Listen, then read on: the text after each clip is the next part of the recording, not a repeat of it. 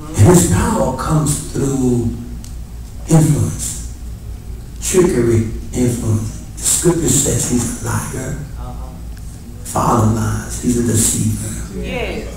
He's an accuser of the brethren. Yes, he is. So he uses these devices to find a path into your perception that will deceive you. Mm, okay.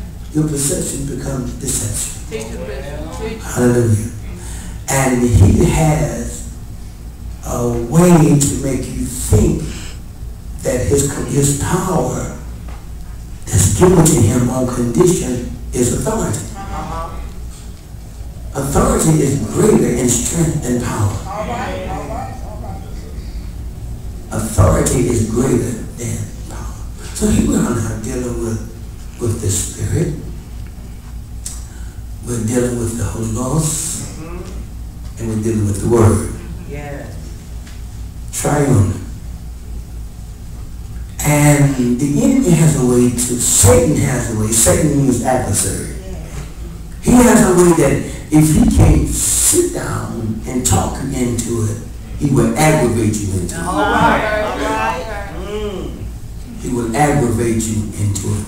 If he just can't talk you into being disobedient, he will aggravate you to the point, I just don't feel like it today, but that's not what God said. That's right. Help us, Bishop. He will aggravate you so until you begin to not like people in the church. Right. Jesus. That's not God's way, nor is it his will. He said, how do I know that you have passed from death to life? Only if you have fellowship with brethren. Right. So if he can keep you from, from being kind and speaking a word of strength to someone, hello, hello, then the person that you are upset with is not out of order, it's you.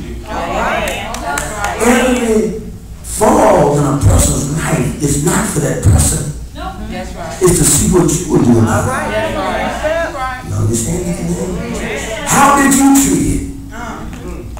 How did you treat it? Uh, So, so when Satan does, I don't have one preaching minute. So when Satan does, he, uh, uh, uh, uh, uh, he uses the, the makeup of, of, of, the flesh, the makeup of man, to keep men holding on to what he's accustomed to. And when God comes in to do a new thing, it's hard to let the old thing go. Yeah, all right. Yes. See, because you can say what you want to say, uh, that flesh still want to party. Amen. Amen.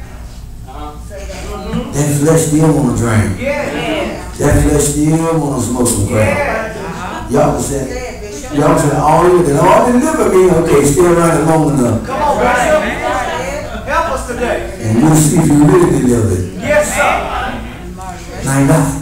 And so what happens is that, that, that the power of the enemy stops in the spiritual realm. This is why he don't want you to see things through. He wants you to see things uh, through your eyes, your perception, what it looks like. This is why so many of you said, well, I feel like ought to be like this. See, you're looking through your eyes. Because the enemy cannot operate in the spiritual realm, but you can. So if he can get to you, hello, that's the path to the spiritual realm. But the spiritual realm is not to keep you there, it's to do you of it. Because authority over him is only spiritual. Amen. So if he can stop you from being spiritual, you have no authority over him. He can walk all over you. He can tell you anything. Sitting in the church and just look at people that are going through, and it's because the person has a little frown on their face. They don't like me. They ain't got no reason not to like you. I don't know well. People don't like people for no reason. They don't let them anyone. Do you not know the tricks of the enemy? Do you not know that you need to keep working for God and keep praying uh, for the strength of your life and stop being charismatic and, and, and, and other folks' affair? Did you not know there's some things you need to stay out of oh, so that you can stay with? Many of us are walking out of the will of God. God has three wills. There's a perfect will, direct will, hello, and a permissive will. And we can get out of that trying to judge why people are doing what they're doing. If you was in the Word, you know that people doing what they're doing. But because you're not in the Word, hello, of God, but you on everything else except the Word, then when the enemy shows up, you don't really know him. You think he's your friend. The devil don't like you. None of you. He don't even want you. He's a son of perdition. He know he's not going to be saved. So, so, so whether you have going to church or going to church fully, he's trying to get you destroyed, trying to get you out of the realm of authority. Because if he gets you out of the realm of authority, you can't rebuke him. Right. He can come in and tear your house up, tear your relationship up, tear your children up, and you can say, I rebuke you, you say, well, he had me to.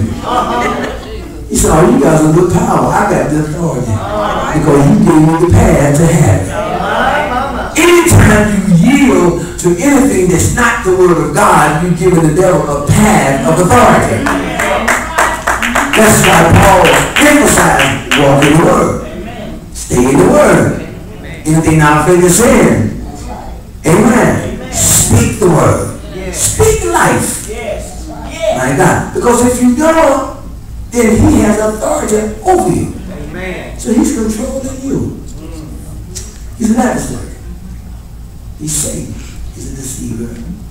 And then after he found himself establishing uh, a spacious kingdom in your life, what happens? What happens?